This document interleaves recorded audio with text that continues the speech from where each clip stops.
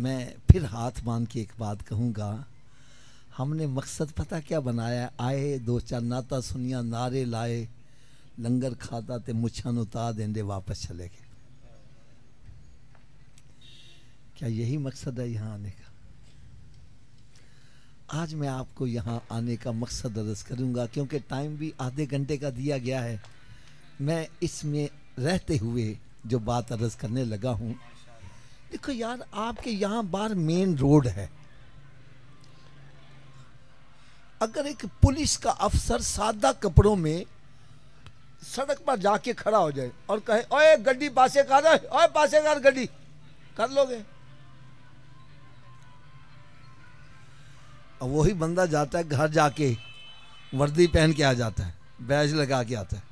फिर कहता, नहीं, खाली इशारा बंदा कहना शाह जी उन्हें एक बासे कर लेना।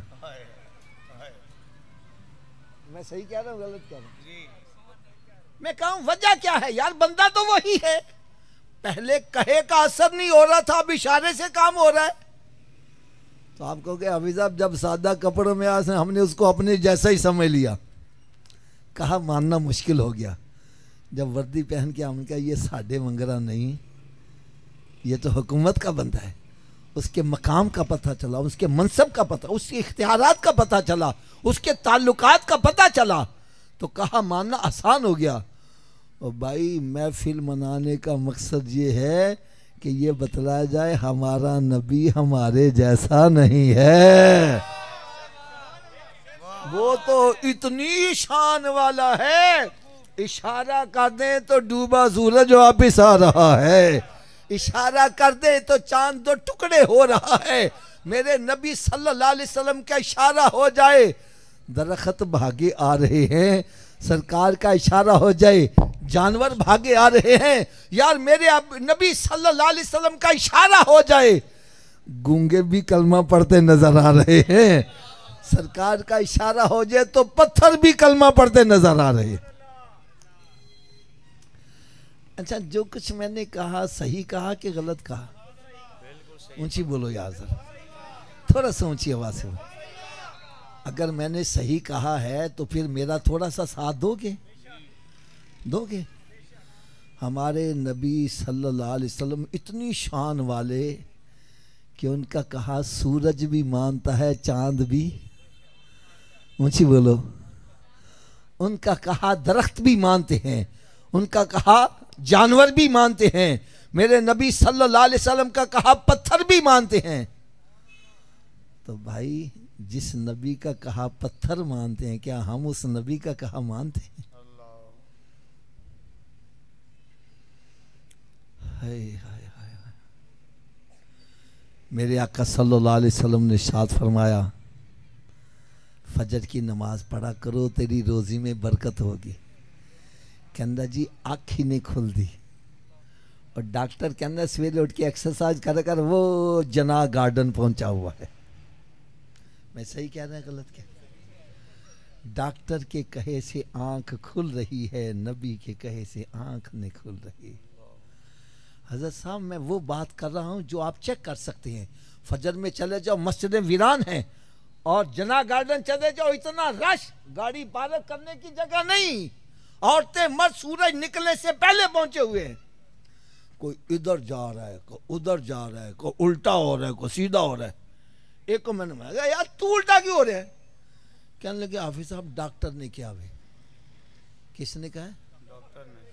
मैं डॉक्टर के पास गया मैं कहा डॉक्टर साहब चंगे भले बंदे उल्टा क्यों कर दो कहने लगे हाफिज साहब तुम मसीत बना हो पानी की टैंकी उत्ते रख दो थले रख दो मैंने कहा जी उत्ते रखने कहना क्यों? मैंने कहा, पानी ऊपर से नीचे लाना आसान है, नीचे से ऊपर ले जाना मुश्किल है। कहने लगा, बस फिर मेरी बात समझ लो। ये दिल जो है ना, दिल खून की टैंकी है। इसके लिए खून नीचे पहुँचाना आसान है, ऊपर दिमाग तक पहुँचाना मुश्किल है। जब हम बंदे को उल्टा करते हैं, दिमाग नीचे हो जाता है, दिल ऊपर होता है। ब्लड सर्कुलेशन दिमाग होती है बंदा फ्रेश हो जाता है। मैंने कहा अच्छा इसीलिए उल्टा कर करना हाँ इसीलिए उल्टा करते हैं। फिर कहना हाफिज जी की सच्ची गल भी दस दें मैं क्या ज़रूर बतलाओ। कहता इंसान के दिमाग को जितनी ब्लड सर्कुलेशन सजदे की हालत में सही होती है, उल्टा लटकने से भी सही नहीं होता।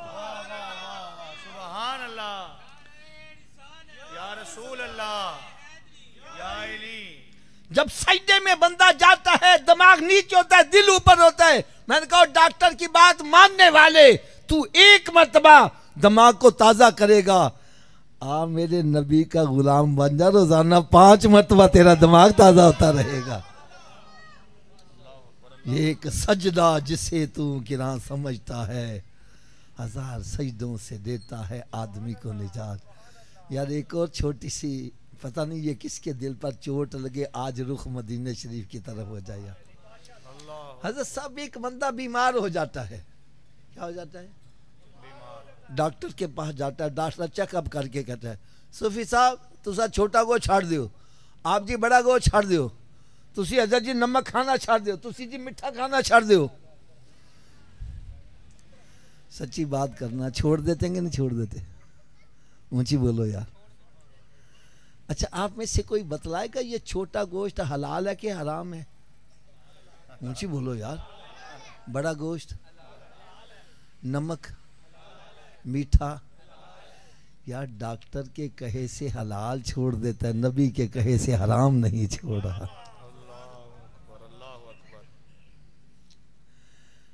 डॉक्टर के कहे से अपनी मनपसंद चीज़ मिठाई छोड़ रहा है और नबी के कहे से शराब नहीं छोड़ा, जिना नहीं छोड़ा, सूद खाना नहीं छोड़ा।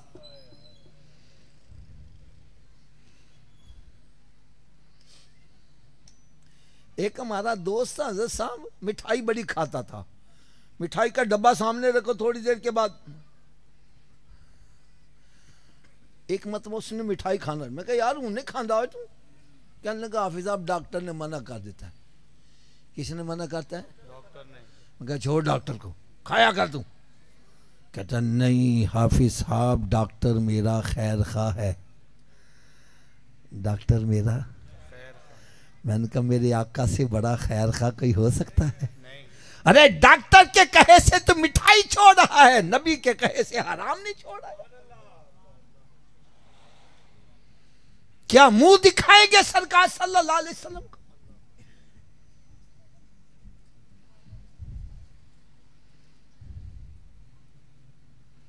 और एक बात मेरी कान खोल के सुन लो कान खोल के सुन लो। जितने भी हमारे खैर खा हैं, क्या मैंने कहा? जितने भी हमारे खैर खा हैं, कब्र में दफन करके वापस आ जाएँगे, कोई कब्र में साथ? बंदा अपनी औलाद के लिए हेरा फेरिया करता है। दोस्तों को राज़ी करने के लिए शराबे पीता है, जुआ खेलता है और कहते हैं आ साडा शराब पियो और मत घबरा असि तेरा साथ नहीं छे असी तेरे नाल मरा क्यों जी जो मर जाने, फिर नाल मर देने कहने, लै, चलो कि बो ना लगे कडो बार किथे नहीं तेरे घर वाले, जिन्हें सह तू पाप कमांदा, जेडे कहते मरा गे नाल तेरे अज उन्हना भी बाजिया आ रही नहीं अरे सब ये मनो मट्टी के नीचे दफन करके वापिस आ जाएँगे। कोई कब्र में साथ? नहीं जाएगा। और मेरे आका सल्लल्लाहु अलैहि वसल्लम ऐसे खैर खाए कब्र में भी तशरीफ़ ले आएँगे। और मैदान माशर में जब माँ अकलौते को छोड़कर भाग रही होगी सरकार वहाँ भी खैर खाई फरमाएँगे। अब यार मैं इतना तो पूछ सकता हूँ ना ऐसे खैर खा को नाराज़ करना चाहिए कि राज़ी करना चाहिए? थोड़ा समझिए आवाज़ से बोला। अगर राज़ी करने का नुस्खा बतला दूँ तो अमल कर लेंगे। आवाज़ कम हो गई है। लो जी नुस्खा क्या है? मेरे आका सल्लल्लाहु अलैहि वसल्लम ने शाद फरमाया नमाज़ मेरी आँखों की ठंडक है। नमाज़ मेरी आँखों की ठंडक है। इसका मतलब क्या है?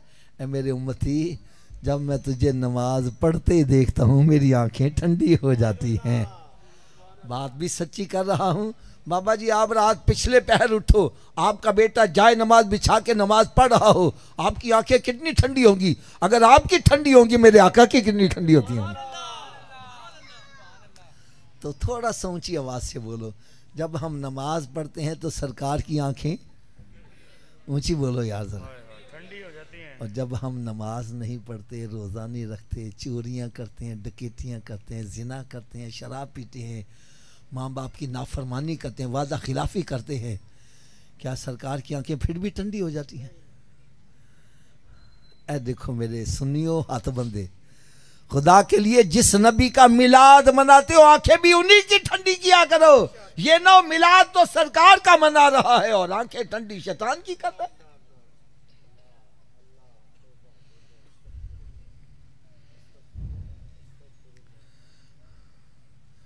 चलो हजरत साहब आखिरी फैसला ताडे को करवान लगा हुआ मकान में ताडा अपना ਇਹਨੂੰ ਲੱਗਾ ਆਇਆ ਵੇ ਤਾਲਾ बगैर चाबी के घर च वड़ जाओगे थोड़ा जा उची आवाज ना बोल अगर बगैर चाबी के तू अपने घर में दाखिल नहीं हो सकता बगैर चाबी के जन्नत में कैसे चले जाओगे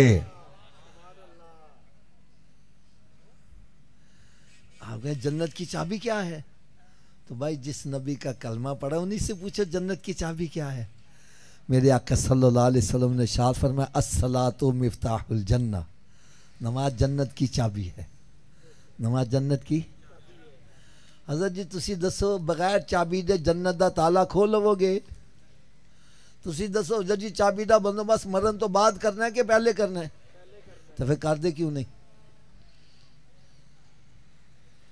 जब तस्लीम कर रहा है, मैं बगैर चाबी के जन्नत का ताला नहीं खोल सकता। और चाबी का बंदोबस्त भी मरने से पहले हो सकता है, मरने के बाद। ये सब काम छोड़ के मस्जिद की तरफ़ आ। कोई पूछे, सूफी जी कितना जा रहे हो? मतलब मैं जन्नत की चाबी लेने जा रहा हूँ।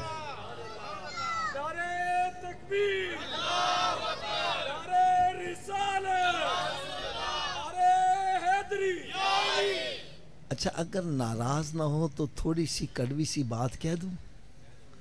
नाराज़ तो नहीं होंगे? अगर जन्नत की चाबी का बंदोबस्त ना किया तो फिर कहाँ जाना पड़ेगा? क्या दोजख की आग बर्दाश्त कर लोगे? अगर नहीं कर सकते तो फिर दोजख से बचने के लिए जन्नत का बंदोबस्त करना पड़ेगा। चलो हज़रत साहब आप बतला दें क्या हर चाबी हर ताले को लग जाती है? इसकी क्या वजह है? चलो वजह भी मैं बतला दूँ। असल में ताले के अंदर लीवर होते हैं। जितने लीवर का ताला होगा चाबी को उतने दांते पड़े होंगे तो चाबी घूमेगी। चाबी घूमेगी तो ताला खुलेगा। ऐसे ही है ना तो आओ आज मैं ये भी बतला दूँ जो जन्नत को ताला लगे उसके पाँच लीवर हैं। कितने लीवर हैं? ऊँची बोलो। पहले लीवर का नाम है फजर। दूसरे का नाम, तीसरे का, चौथे का, पांचवे का। जो एक नमाज़ पढ़ता एक दंदा पा रहा वे ताला खुल जाएगा। दो से, तीन से, चार से तो खुल जाएगा कब खुलेगा। तो फिर आज के बाद कितनी नमाजें पढ़ेंगे? सबकी आवाज़ नहीं आ रही। ये सबकी आवाज़ पता क्यों नहीं है? हाफिज पाँच पढ़ेंगे कैसे? तो चलो नुस्खा भी मैं बतला देता हूँ मेरे नुस्खे पर अमल हो सारे नमाजी बन जाओगे। क्यों जी लोड है नुस्खे जी? एक शर्त है नुस्खा इस्तेमाल करना पड़ेगा। तो जी नुस्खा सिर्फ़ इतना है अगर ये वजूद नमाज़ ना पढ़े। हज़रत जी मैं की आख्या अगर ये वजूद नमाज़ ना पढ़े। तो इस वजूद को रब का रिजक ना खिलाओ। ना रोटी खिलाओ, न पानी पिलाओ। बात भी मैं सच्ची कर रहा हूँ, जो वजूद रब ताला के आगे नहीं झुकता, क्या वो इस काबिल है कि इसको रब का रिजक खिलाया जाए? और रोटी सामने रखी, अपने मुँह में तो नहीं जाती, पकड़ के ले जाओगे, मत ले जाओ। ये रोटी मांगे, बोलो, नहीं, पहले नमाज़, फिर बाद में रोटी। तो क्या ख्याल है, नमाजी बन जाएगा क्या नहीं बनेगा? तो इस नुस्खे पर अमल कौन कौन करेगा? सभी हाथ ऊँचा खड़ा करके बुलंद दवा से इंशाल्लाह का नारा लगा दो। आज के बाद हमारी कोई नमाज़ कजा नहीं होगी। रमज़ान शरीफ का रोज़ा भी नहीं छोड़ेंगे। सरकार सल्लल्लाहु अलैहि वसल्लम की सुन्नत पर अमल यार हम सारे नमाजी बन जाए, मेरे आका कितना खुश ये है महफिल में आने का मकसद। अब नुस्खे की सुबह की डोज भी सुन लो, उतनी देर तक नाश्ता नहीं करना, जितनी देर नमाज़ फजर ना पढ़ लो।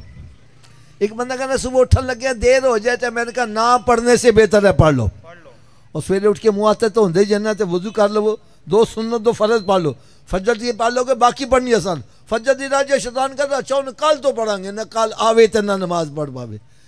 लिहाजा थोड़ा सा ऊँची आवाज़ से बोल दो, उतनी देर तक नाश्ता, जितनी देर तक नमाजे, और उतनी देर तक कोई अखबार, रिसाला नहीं पढ़ना, जितनी देर कुरान पाक की तिलावत नहीं कर लेंगे। यार, अपने घरों में नज़र तो मारो कितने कितने महीने गुजर गए, किसी ने कुरान खोल के देखा है? कुरान पाक पर गर्द गुबार पड़ी और टीवी वीसीआर पर मक्खी ने तेरे घर में बरकत कैसी हो जाए? मेरे आका सल्लल्लाहु अलैहि वसल्लम ने शाद फरमाया, अपने घरों को कब्रस्तान मत बनाओ, अपने घरों को वीरान मत करो। अरे घर बंदों से आबाद नहीं होते, घर तिलावत कलाम पाक से आबाद होते रात की डोज ये है कि उतनी देर तक सोना नहीं, जितनी देर पाँच नमाजें पूरी न कर दो। चलो, आखिर में एक ऐसी प्यारी बात सुना जाऊँ, आपको सारी ज़िंदगी सरूर ही आता रहे यार एक बंदा कहने लगा, आफत जी, मेरी तो किस्मत ही फुट गई जी। किस्मत ही उलट गई। मैं कहा, यार, तन कि मैं पता चलिया कहने लगा, आफत जी, मैं जिस कारोबार में हाथ डालता हूँ, नुकसान ही होता है। जिसका भला करता हूँ, बुराई हो जाता है। जिस सच्चे काम में हाथ डालता हूँ, वो भी गलत ही है। मेरी तो किस्मत ही उलट गई है। मैंने कहा, उल्टी किस्मत को सीधा करने का नुस्खा भी बतला दूँ। भाई, एक मोहर होती है ना, स्टैंप, इसको पकड़ के अपने सामने करो। इस मोहर पे अल्फाज उल्टे लिखे हुए हैं। लेकिन जब यही मोर ऐसे झुक जाती है तो उल्टे अल्फाज, मैंने कहा, तेरी किस्मत उलट गई, अपनी पेशानी रब की बारगाह में झुका दे, तेरी उल्टी किस्मत सीधी हो जाएगी। ये एक सजदा जिसे तू गिरा समझता है, हज़ार सजदों से देता है आदमी को निजात। अल्लाह ताला मुझे और आप सबको अमल की तोफ़ी अता फरमाए। वमा अलिया इल्लल